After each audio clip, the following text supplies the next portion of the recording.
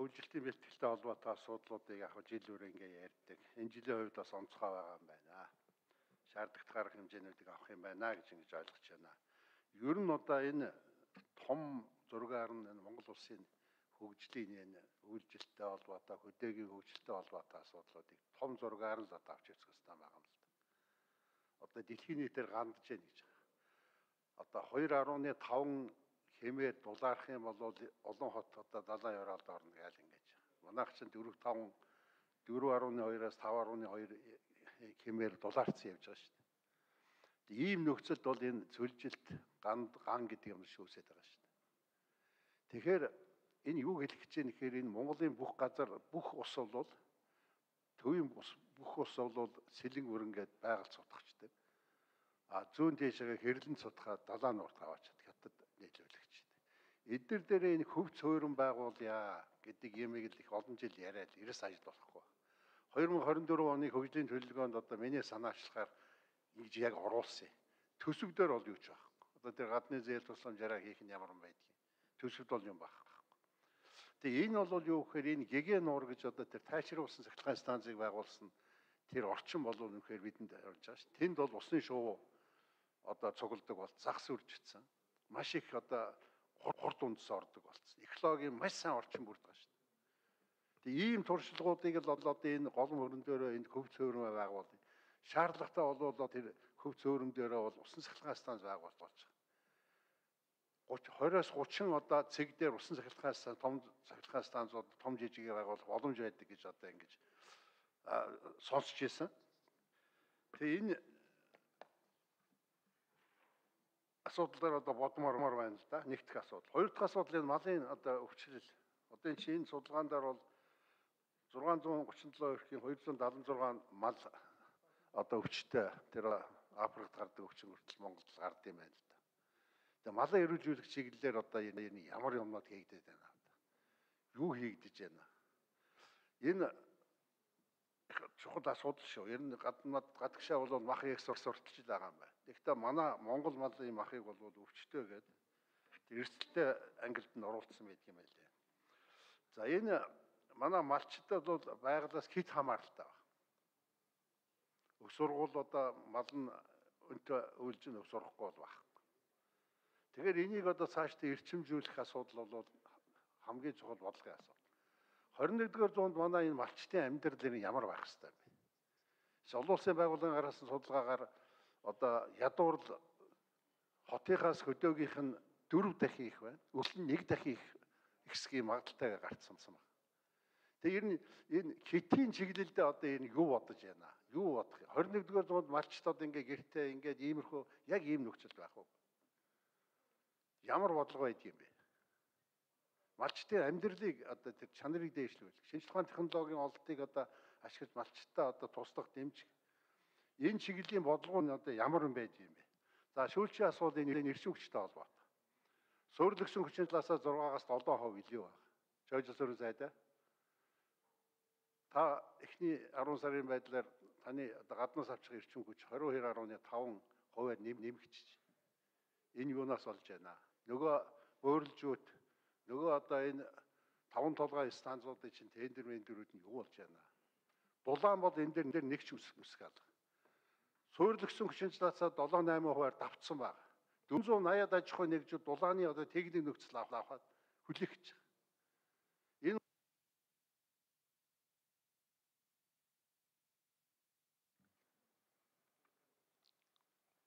Цоожлсрын сайд хариулах. Батгтхан цоожлсрын гэрчим хүчний сайд хариулна.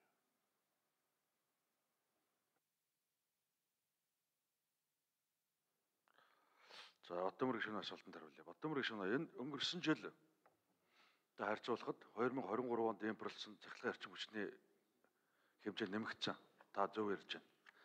Манай хэрэглээ нэмэгдээд байна. Өнгөрсөн жил жишээлбэл одоо чадлын хувьд хамгийн дээдлийнх нь бол 84 мегаваттаар нэмэгдэжсэн бол сая 11 сарын 23 24-ний өдрүүдэд дээр өнгөрсөн жилийнхээ мөн мөн үедээ харьцуулахад 207 103 мегаваттаар нэмэгдэж байгаа. Тийм учраас энэ чадлыг хэрэглэж нэмэгдэж байгаа энергийн хэрэглэж нэмэгдэж байгаа учраас Оросын улбанаас импорт эрчим хүчний хэрэглээ бол нэмэгдсэн үнэн. А гэхдээ мөнгөнд дүнгээр бол жоохон хэмнэлсэн. Оросын улбаны улсад рублийн ханш жоохон суларсантай холбоотой. Мөнгөнд дүнгээрээ хэмнэлсэн. А бит хэмжээгээр бол нэмэгдсэн үнэ. За, бөөрөлжүүдийн цахилгаан станц бол 2024 оны 3 дугаар улиралдаа багтаж эхний 150, 1 дугаар блок 150 мегаваттыг ашиглалтанд оруулах төлөвлөгөөтэй. 2025 оны 2 дугаар улиралдаа багтаж 2 дахь 150 блокийг ашиглахаар ийм хувийн гэрчлийн цахилгаан станцын ажил сайн явж байгаа. За 5 дахь цахилгаан станцыг бол 300 мегаваттын хүчин чадалтайгаар тендер зарласан. 7 сарын 27-ны өдөр хоёр оролцогч орж ирсэн. Харамсалтай нь энэ хоёр оролцогч хоорондоо шүүхийн маргаанд өссөн шүүхтэр асуудал явж байгаа. Иймэрхүү байдалтай байгаа. Эрдэнэ өргөний усан цахилгаан станцын тухайд бол зээлийн тусгаалсан хэлцээрийг одоо байгуулад дуусч байна. 2024 оны одоо 3 дугаар сараас эхлээд ажлыг эрчимжүүлэх талаар гүйцэтгэгч компанитай бол нэр өдөр тутам харилцаатай явж байгаа. Иймэрхүү байна.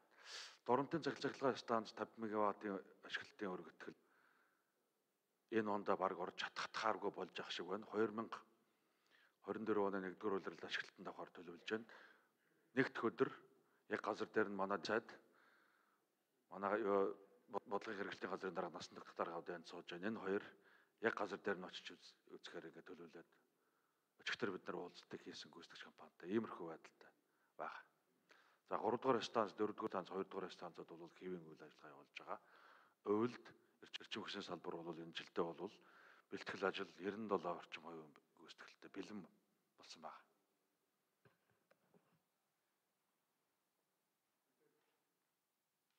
За хүн сэдвээ чугун гүйлдэнэ таянгагийн боловчлоо. За 89 мал эмнэлгийн газрын дарга.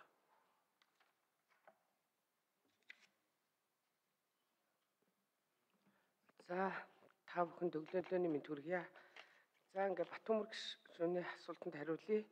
Өнөөдөр Монгол улсын хэмжээнд бол 5 гоц халдвар төвчин вирусээр үүсгэгддэг 5 гоц халдвар төвчин одоо эргэлддэг. Нэгдүгээрт нь шүлхий, бог малын мялзан, сүүлж шинээр гарсан арьс товруутх өвчин, гахаа апргийн мялзан, хоньны цэцэг гэд.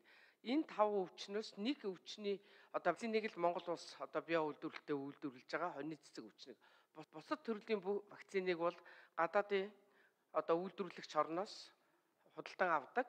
Аа тэгээд та бүхэнд бас тоо мэдээ танилцуулъя. 22 оны 1 сарын байдлаар 16 аймгийн 91 сумд 151 голомт энэ бол одоо шүлхий өвчин голомтлоод нийтдээ 204 сумд 461 голомт байсан. Одоогийн байдлаар 23 онд халдварын голомт бүрэн байхгүй гэсэн мэдээллийг бол Дэлхийн мал амьтны эрүүл мэндийн байгууллагад мэдээлсэн байгаа. Тэгээд олон улсын худалдааны хориод цэрт яаралтай мэдээлэх хоёр гол өвчин бол бог малын мялзан, шүлхий өвчин байгаа. Бог малын мялзан өвчин болохоор одоогоор Сүхбаатар аймгийн Онгон Баян дэлгэр, Өвөр хангай аймгийн Сант Баянгол сумд хязгаарлалтын дэглэмдэгдсэн. А ерөнхийдөө бол Булган аймагт нэг тохиолдол илэрсэн. Тэгээд одоо энэ өвчнөр бол эрсдэл бол өндөр байна. Яагаад тэгэхээр шилжит хөдөлгөөн өвлийн энэ нөхцөл байдалтай холбоогоод холбогдуулаад шилжит хөдөлгөөн ихсээд малын өвчин дахин дэгдэх аюултай учраас онцгой комисс бид нар намны зүгээс болон мал эмнэлгийн ерөнхий газраас танилцуулаад тэмдэглэлт тэмдэглүүлсэн байгаа. А мөн Үхрийн арьс товруудах өвчин бол Дорнот аймгийн Чулуун хороотоор дамжиж орж ирээд энэ жил бол үсрээд Булган аймгийн Сэлэнг сумд гарсан. Тэгэхээр энэ өвчний магадлал эрсдэл бол бас Монгол оронд байгаа.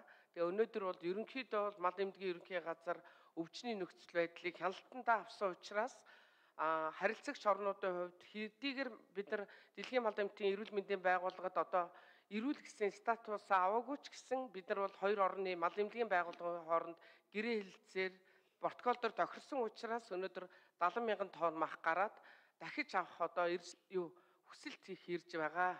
Тэгээд тодорхой мэдээллийг бас мал мал эмнэлгийн ерөнхий газраас танд танилцуулж болно. За баярлалаа.